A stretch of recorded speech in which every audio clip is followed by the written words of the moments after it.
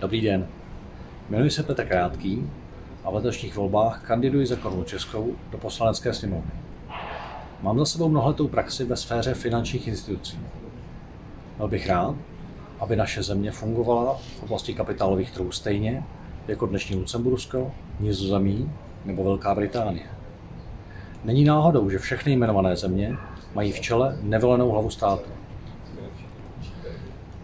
Často slyšíme politiky plakat nad tím, že nám ze země odchází investiční kapitál formou dividend. To není chyba vlastníků kapitálu, ale chyba politické reprezentace, která nedokázala pro investiční kapitál vytvořit příznivé prostředí. Stabilizujme právní řád, nechme rozumnou úroveň zdanění a nechme investiční kapitál pomoct naší zemi, aby se obnovila po covidu. Volte číslo 16. Nahrad patří král.